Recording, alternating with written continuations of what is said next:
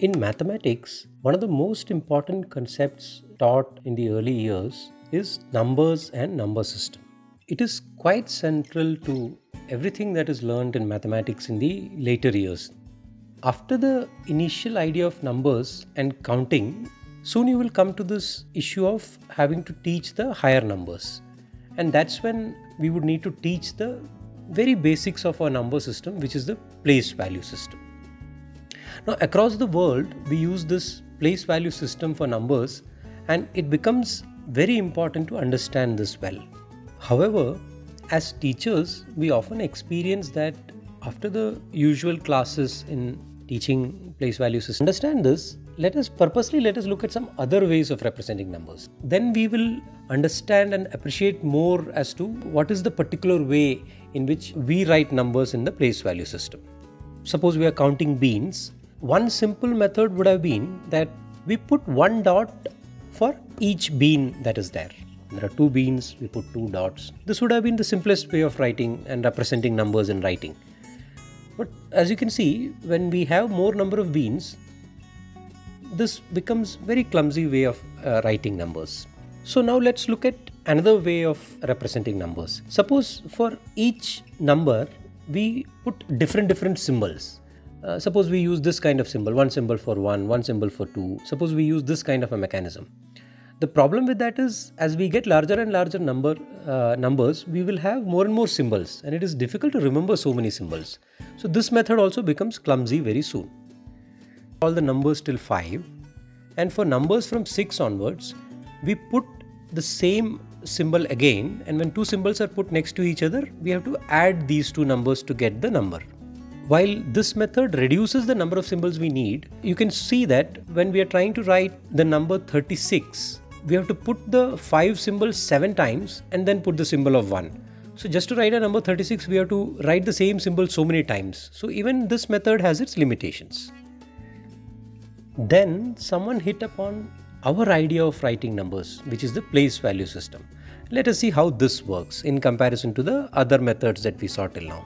In this method, till 9, we have different symbols. So 1, 2, 3, that way till 9, we'll have very different symbols.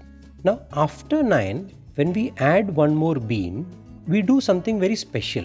What we do is, we draw a line and we move all the beans now to the left side. These 10 beans on the left side, we put it inside a bag. From now on, we will treat the left side as different from the right side. On the right side, we have no more beans left, so it is 0. So we will write 0. And on the left side, we don't count the independent beans anymore. We only count the number of bags. We have put the 10 beans in one bag and we start counting only the bags. And how many bags are there? 1, right? So we write 1. That is how 1 and 0 come and that is how we write 10. So now when we add one more bean, we add it to the right side and since there is one independent bean on the right side, we write a 1 below. On the left side, we still have only one bag, so we put a 1. That's how 11 comes. Similarly, when we add more beans one by one, we get a 1 on the left and a 2 on the right, which is 12, and then 13 and 14, etc. Since this is important, let us emphasize this once more. Suppose we write a number like 11. The 1 on the left side is the number of bags, that is the number of bags with 10 beans inside the bag. So in the case of 11, it is only one bag with 10 beans. That is what the number on the left side indicates. Similarly, the number on the right side is the number of independent beans. In 11, there is only one independent bean outside the bag. So that is what the one on the right side indicates. While teaching this concept, and even generally in maths, it is uh, a good idea to proceed in three steps.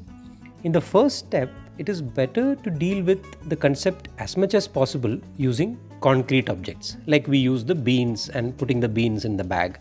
It is good to do it physically. Then, in the second step, you can move it to books, which is workbooks and textbooks, or even draw on the board. At that time, we can start using pictures we can draw pictures or we can have workbooks with pictures.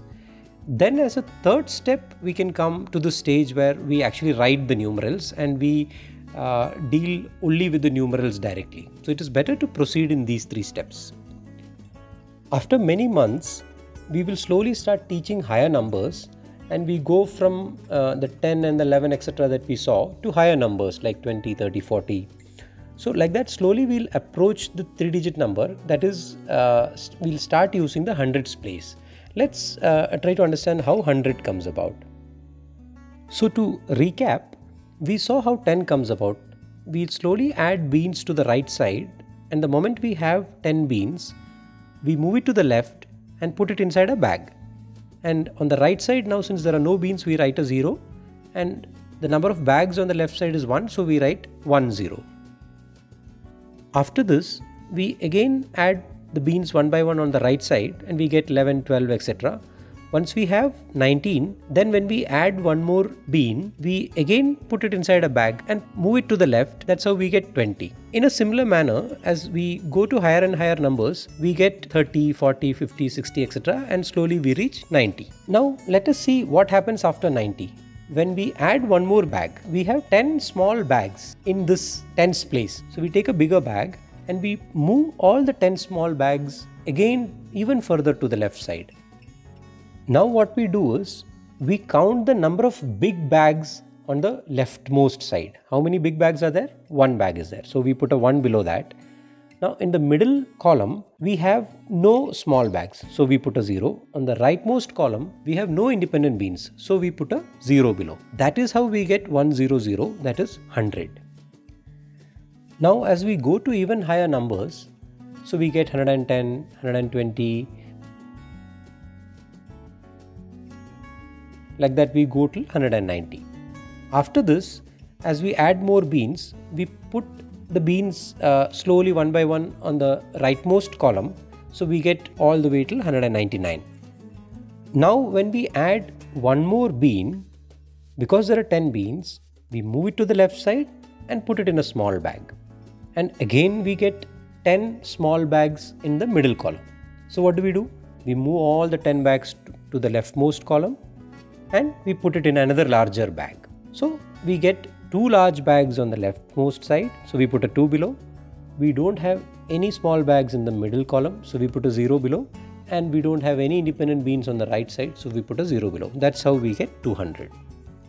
After this, the same pattern continues. As we add the beans one by one, we get 201, 202, 203, etc. And that process goes on.